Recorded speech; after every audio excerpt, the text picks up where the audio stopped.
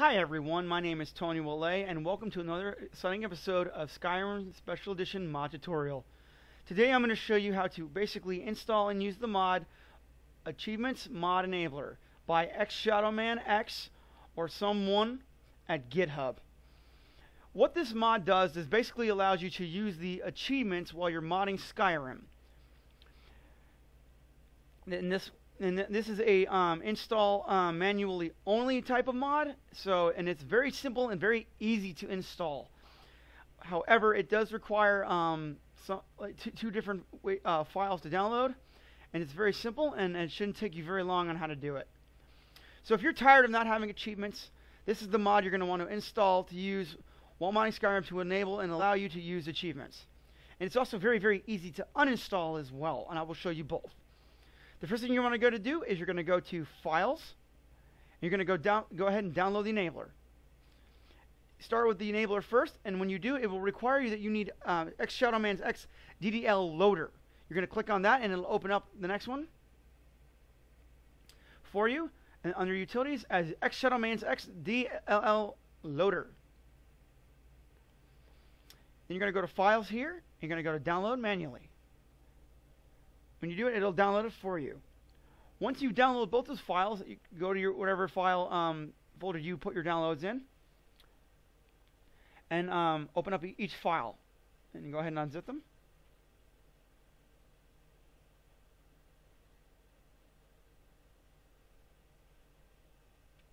Next thing you're going to do is you're going to go and you're going to open up your Skyrim Special Edition directory.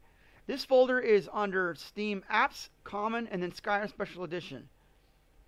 You'll find your data folder and your Skyrim exe um, file along with the exe Skyrim SSE launcher um, there as well.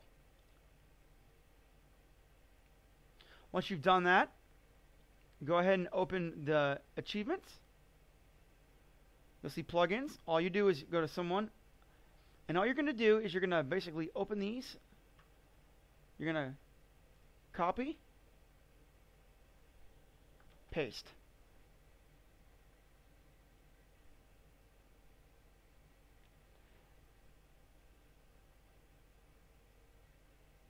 You can open up the DLL loader. You're going to copy, go back to your directory folder, and you're going to paste. It is literally that simple. You're done. Both the mod is now officially installed. Once you start Skyrim up, it'll load. When it's done, you'll find a log file here. And you'll have a loader text that'll also pop up. So these two files, right? All right, so when you're done, what you will see is when you know you've loaded in Skyrim, you'll see achievement mods enabler log and uh, the DLL loader um, text file. This is when you know the mod has been activated and, it, and has been working for you. To uninstall this mod, it's very simple. All you do is click on these files here, delete. Come down here to the DLL loader, delete.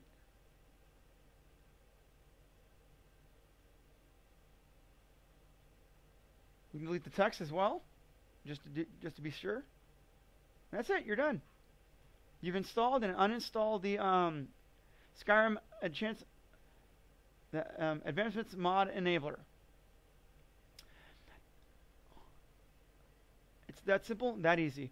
All right, guys. My name's Tonyo Allie. Um, thanks for um, um, checking out my uh, my mod tutorial. When you get a chance, please go ahead and um, endorse um, X Shadowman X or Sumwunn wit for his awesome mod under the utilities, and giving us this tool, allowing us to um, still have achievements while we're modding Skyrim.